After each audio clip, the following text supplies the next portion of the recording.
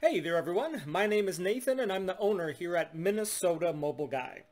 If you're not already familiar with us, we're a business based here in the US state of Minnesota, but we assist customers from all over the world with all sorts of different issues and services on their smartphones, tablets, and other mobile devices.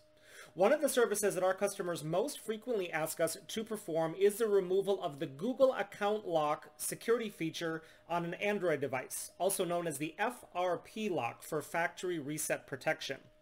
Now, here with us today, we happen to have a Revel 6 Pro smartphone that is originally from T-Mobile here in the US.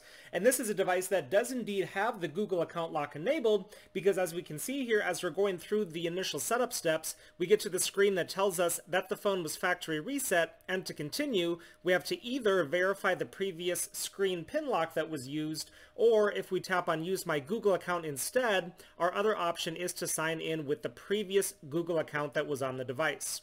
So we've been contacted by tons of customers over the years asking for assistance with this specific issue on this specific model, usually either because they themselves accidentally got locked out of their own device and couldn't remember or recover their login information to get back in, or also, unfortunately, a lot of times these days, someone will go to purchase a used phone from a dishonest seller who doesn't tell them that the device is locked.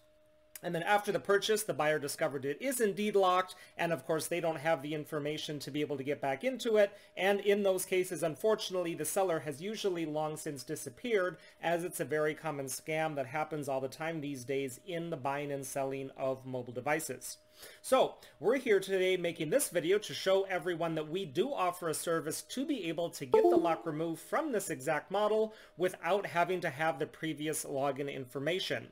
Removing the lock is something that we do directly to the phone while it is plugged into a computer. And the great thing about this is that it's something that can be done for just about anyone, anywhere in the world. So you don't necessarily need to be located here in our local area in order for us to be able to do this for you. You just need to have a decently powerful Windows computer along with a fast internet connection, and we can remotely connect right to your computer through the internet and perform the exact same procedure that we just did here with this one.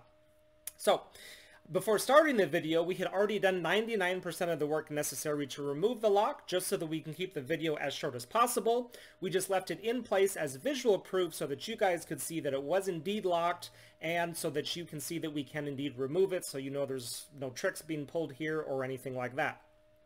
Now that we have finished the last step and the device has rebooted, we're going to go ahead and go through the initial setup steps here, and then we should be able to see that we can get all the way through the setup steps. So after skipping Wi-Fi there, we can see that we go to the Google Services page here, and this is something that we could not normally access before, so that's a very good sign. It's now asking us if we want to set up a screen lock pin, which we don't need to. We're just going to go ahead and skip everything in order to get through this as fast as possible. Well, there we go. We are already done. So the device is now here at the main home screen. We have full access to all of the apps and settings and features, and this is just like a brand new device that never had the lock on there. I know you could see the Revel 6 Pro there on the screen when it was restarting. We're just going to go ahead and pop into the settings here to show you and verify exactly the device we have, which yes, it is a Revel 6 Pro, and then they also assign this model number to it, the TMAF03 5G. So if you have a T-Mobile Revel 6 Pro that has the FRP lock enabled and need, and need help getting it removed, we would love to assist you with that, so go ahead and get in touch with us. All of our contact information will be found right down in the video description, and we'll also put a slide at the end of the video that has all of our info there as well. While you're here, make sure to check out some of the other videos that we have here on our channel, as we offer a lot of different services for thousands of models of mobile devices, and I'm sure you'll find something there that could come in handy someday. Hitting that subscribe button while you're there will enable you to be notified of all of the new videos and services that we're constantly adding and putting up, just like we're doing here with this one. Y para todos ustedes hispanohablantes, nosotros también hablamos español, así que ustedes también nos pueden contactar sin duda. Thanks so much for watching, everyone, and have a great rest of your day.